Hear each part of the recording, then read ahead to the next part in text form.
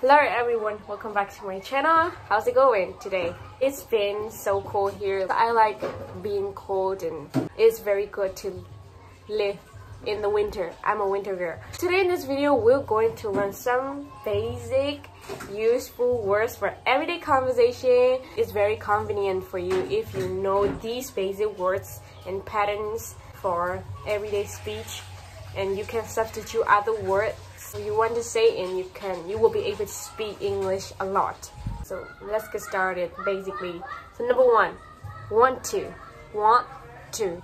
So if you have the desire to do something, you can say want to. You can use want to. The word behind to, you can use present verb.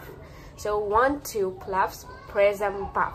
So for example, I want to go abroad. I want to go abroad.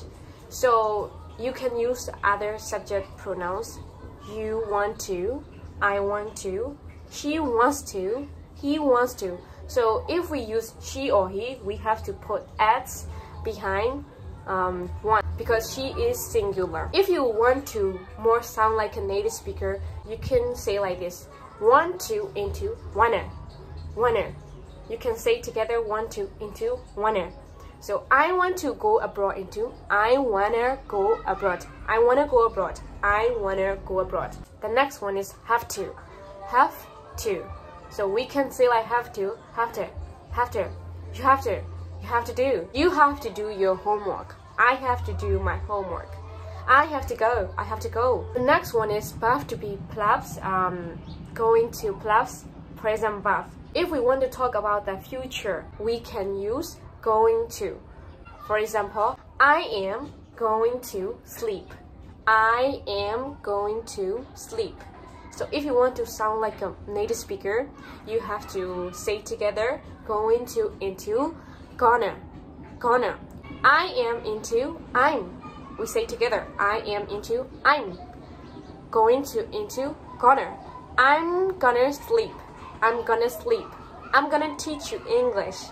I'm gonna teach you English. You're gonna get wrong. So she and he, we use the verb to be is.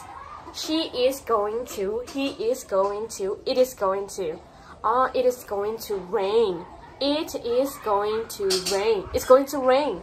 It's going to rain. If you want to talk about something which is happening continuously, we can use verb to be plus verb ing. For example, it is raining. It is raining. They are playing football. They are playing football. Like they are playing football. If you want to change this sentence into negative forms, you can use like don't. You can use don't. I want to go abroad.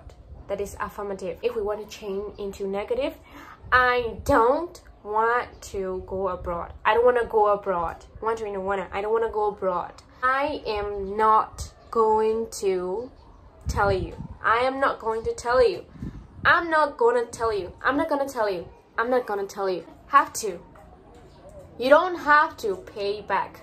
You don't have to pay back. You don't have to go home. I hope you understand these basic words for everyday conversation and it will be very useful for you. I hope so. That's all for today and if you want to learn more, please subscribe my channel if you haven't already done so and click the bell to get the notifications if I post new videos. Okay, so see you in my next videos. Have a good day. Adios. Bye bye.